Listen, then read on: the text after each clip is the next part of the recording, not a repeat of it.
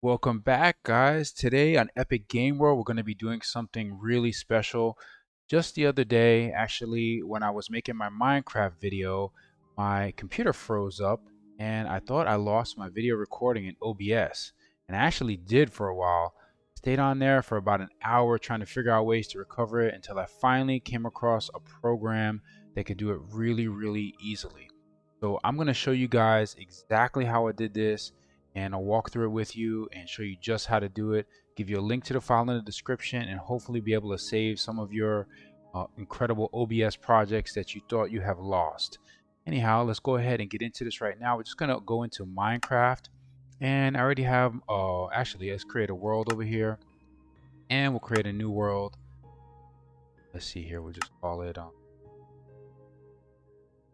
fix crashed OBS. Wow, there we go. And we'll just make it a creative, continue, and let's just create it. Okay, really not to be playing Minecraft right now. I just kind of want to show you how exactly this works.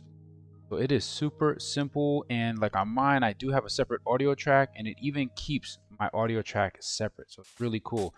You're walking in Minecraft, you're playing, you're getting your wood, you're doing all your cool stuff. Look at that. Get my wood, get my wood. And then all of a sudden, go ahead and just pause this for a second. Let's show you what happens here. Processes. And we're just going to go ahead and crash our OBS. So the OBS is going to just down. We're going to end it. Boom. OBS has crashed. Uh-oh, what happened to my file? Well, this is where I was recording right here.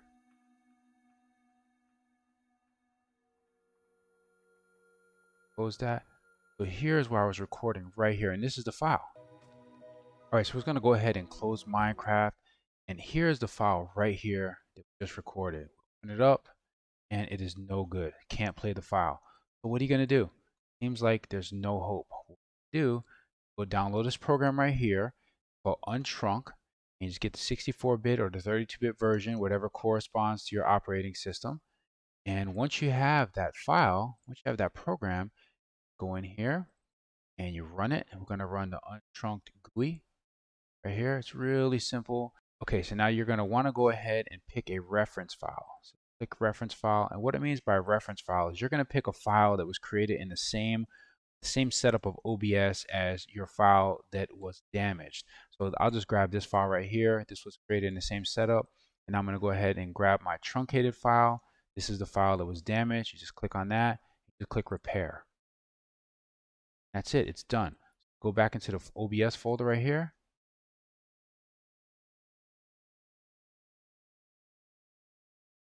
And here it is, the file we just made. And now this does have the separate audio tracks. We can go ahead and put that on. Something really special. Just the other day, actually, when I was making my Minecraft video, and there you see it's fixed. This is the video. This is the video that we just made in here that was just corrupted, that was just damaged. Fix crash OBS file. This is what we just made. We just crashed OBS, destroyed the file, was able to come in here, regain the file with the independent audio track, everything working perfectly in sync. It even keeps my audio track separate, so it's really cool. You're walking in Minecraft, you're playing, you're getting your so anyhow, guys, I mean, it's just really that simple to fix your destroyed OBS files, your damaged OBS files, if ever it happens to crash on you for whatever reason, this is all you need to do. It literally takes seconds. The file that I fixed was the one I just posted, my Minecraft survival um, with the pillager raid. And that file is like, it was like 10 gigabytes and it literally fixed it in, I don't know, 30 seconds or something. So it's just completely incredible. Anyhow, guys, I will leave a link in the description for the file that you need and you can just follow the video for exactly how to do it. And I really hope this helps you. Hopefully fix a file in the future or maybe fix a damaged file that you've been holding on to that you were hoping there was some way that you could get it fixed again. So guys, that's about it for this video. Hope you enjoyed it. Please be sure to like and subscribe and don't forget to hit that bell button so you never miss out on another video on Epic Game World. See you guys next time.